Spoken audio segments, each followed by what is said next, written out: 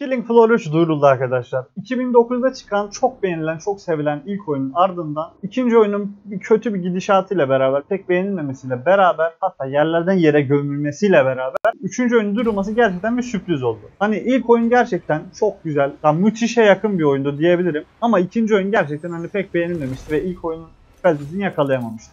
Böylelikle üçüncü oyunun hani gelmesi beklenmiyordu. Ama gerçekten çok güzel bir sürpriz oldu kan ve vahşete doyabileceğiniz oyunda çeşitli mutasyon ve yaratıkları keserek ilerleyebileceğiniz bir oyun kısacası özetlemek gerekirse oyunun konusu ve türü bir FPS oyunu. Aynı şekilde zaten videolarda gördüğünüz ve daha öncesindeki oyunlara bakacağınız şekilde. Umarım yine bizi memnun eden ve ilk oyunun kalitesine yakın bir oyunla karşı karşıya oluruz. Hatta belki daha iyi bir oyun olur.